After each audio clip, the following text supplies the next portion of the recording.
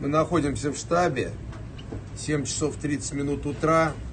Под контролем военные объекты Ростова, в том числе аэродром.